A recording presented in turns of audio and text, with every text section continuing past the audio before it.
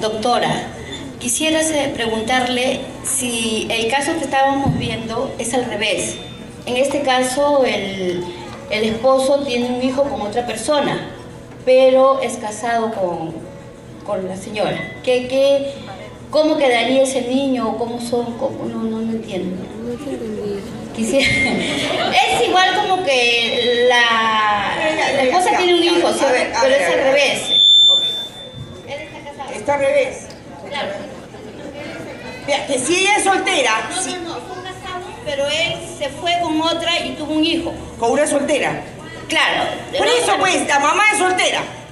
Del hijo, sí. La mamá del niño es soltera lo tendrá que escribir ella. Y, a él... Pero él ha escrito, al, niño lo tiene escrito con su nombre todo. Pero claro, claro que lo puede tener escrito, porque él, él no es mamá. Esa, esa presunción es solamente la mamá, ah. porque la mamá tiene un niño acá, entonces ahí se sabe de quién es el bebé. Es del esposo, es del panadero, es de pero si la señora es soltera, no tiene ningún impedimento matrimonial. Y él no tiene ninguna, ninguna traba para poder este, firmarlo. Así se ha casado. ¿Y los derechos del, niño, del niño es igual? ¿En qué sentido? Si está reconocido ya. ¿No ves que la mamá no está casada? El problema, el problema se, se entrampa cuando la mamá está casada. Pero el hijo, eh, hombre casado, puede traer hijos de todas partes del mundo.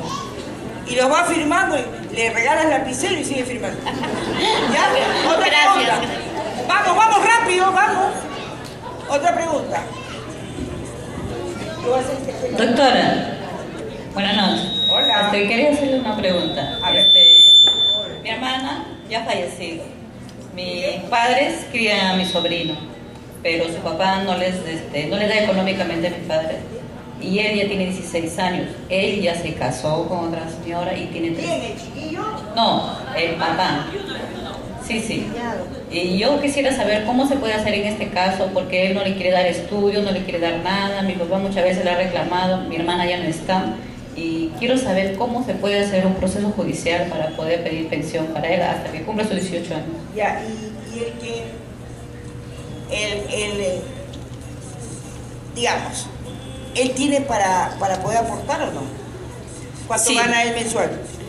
Eh, el padre. Exactamente no sé, pero mi hermana le hizo este, demanda de, alimentos, todo, pero desgraciadamente mi hermana le agarró el cáncer al seno y no pudo seguir. Entonces este, nosotros lo dejamos de lado también y ya mi Estoy preguntando otra cosa, ¿por qué cuando yo pregunto algo me contestan otra cosa? No sé, o sea, él es empresario. Ah, Sí. Es empresario. Él tiene su empresa. ¿De qué? Este, de camisas. ¿Próspero?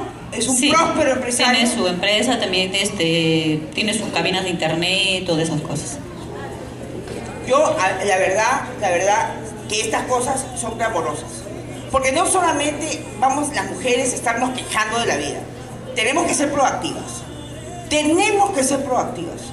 Y no puede ser, es injusto que un muchacho de 16 años hijo de un próspero comerciante, tenga un proyecto de vida recortado por la inercia.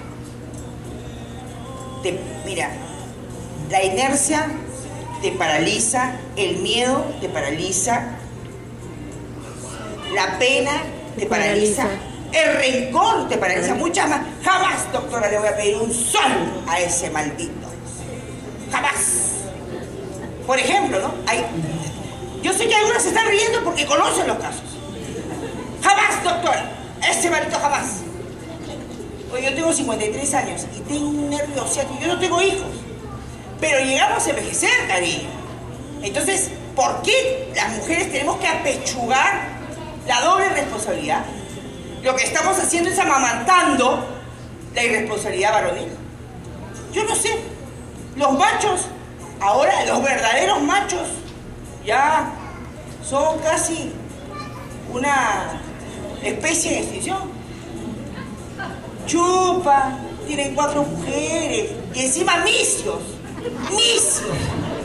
Porque en la época de Arabia derecho a tener cuatro mujeres y las puedes mantener, caramba. Y nosotras sufríamos por el castigo. O sea, sufríamos por el castigo. yo quiero saber cómo puede hacer mi padre, ¿no? Porque realmente mi hermana no está. Ella no puede hacer una demanda.